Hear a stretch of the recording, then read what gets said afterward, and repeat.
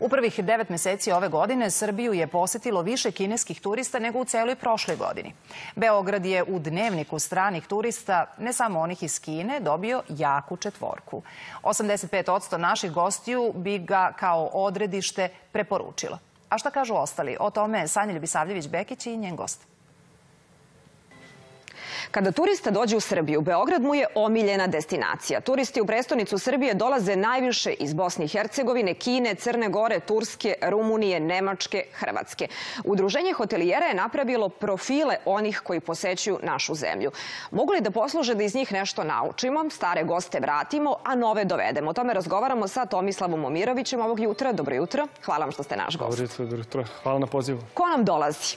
Turista u Beogradu je uglavnom zaposlen, onda penzioner, onda student. Kako saznaju za našu prestonicu? Pa ovo je 21. vek. Svi saznaju najviše preko interneta, to je kanal informisanja. E, vidite na, na, na, ovoj, ovom panelu, kako bih rekao, e, dobar deo ljudi su zaposleni. Znači da još uvek e, mi smo neka nova destinacija, još uvek nas ljudi otkrivaju. Mnogo treba da radimo da dovedemo penzionere, to je najkonzervativnije tržište, onda studente koji uvek žele nešto novo da otkriju. Definitivno Beograd eksplatiše dobre stvari koje su urađene u našoj zemlji u prethodnom periodu jako smo se otvorili, mi smo najotvorenija zemlja u Evropi. Koga ste vi pitali? Su ovo novi turisti ili su se vratili? Ili su oni koji su se vraćali u Srbiju? Mi smo napravili anketu na bazi 2200 turista koji su u jednom relevantnom periodu posetili Beograd. Interesantno je da je 72% njih bilo e, prvi put u Beogradu u tom trenutku. Znači da oni tek otkrivaju Beograd.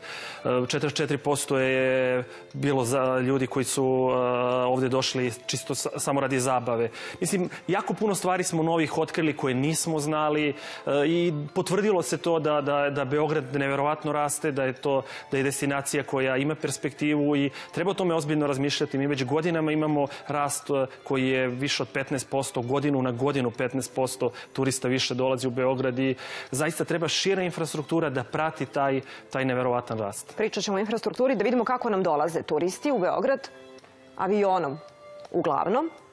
Onda 53% avionom, 26, odnosno četvrtina dolazi kolima, 12% autobusom. Šta nam ovo govori? Pa govori nam da tu imamo, da kažem, jednu podelu. Region koji je značajan u ovom segmentu dolazi kolima ili autobusom. Svi drugi dolaze avionom. Mi imamo veliki rast kineskih turista jer mi smo se od skoro otvorili prema kineskom tržištu. Za građane Kine nisu neophodne vize da, da dođu u Beograd. To je isto, isto važi i za građane Indije, Indonezije, ali oni još uvek nisu u tom značajnom broju uh, otkrili Srbiju, da tako kažem, što ne znači da neće. Moramo i na njih da se spremimo. To su potpuno uh, specifična tržišta na koji mi u ovom trenutku nismo spremni kao društvo i u, u raznim, raznim drugim vidovima. Tako da oni ne mogu da dođu nikako drugačije osim avionom. Tu su i turski turisti koji glavno dolaze avionom. Tako da Beograd je opet avionska destinacija i jako, je važ, jako su važne investicije u aerodrom Beograd koje su najavljene da bi mogli da pratimo taj rast, da bi mogli da servisiramo taj broj turista. Iz vašeg udruženja ponavljaju da su važne investicije i u hotele. Pogledat ćemo koliko imamo hotela u Srbiji i kojih kategorija. 11 hotela od 5 zvezdica, 109 4, 139 3, 92 hotela sa 2, 16 hotela sa jednom zvezdicom. Da. Turisti ove koje ste, vi anketije, koje ste vi anketirali biraju hotele sa četiri zvezdica. Kada pogledate ove brojke, da li je dovoljno hotela u Srbiji da zadovolje potrebe turista koji nam, koji nam dolaze iz inostranstva? Pa dosta je teško to ovako reći, pošto je Srbija, mislim, mi nismo velika zemlja, ali ima tu više segmenata. Jedno je Beograd, drugo je Zlatibor, treće je Kopaonik.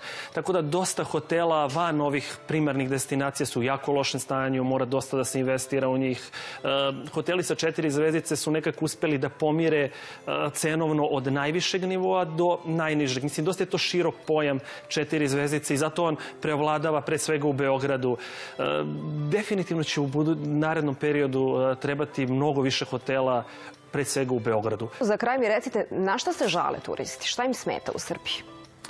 Pa, šta im se sviđa, šta im smeta? Do, dobra strana te priče jer e, očekivanja su relativno niska i onda su ljudi dosta zadovoljni, cene su jako povoljne, ljudi su gostoprimljivi, mi smo jedno otvoreno društvo, imamo kulturu da lepo ugostimo strance, e, to je ono što je dobro. Ono na što se žale da mi još uvek nismo svesni koliko malo vodimo računa o zagađenju, o urednosti ulica. Grad je često prljav, zemlja je često prljava, ljudi i dalje bacaju đubre kroz prozor.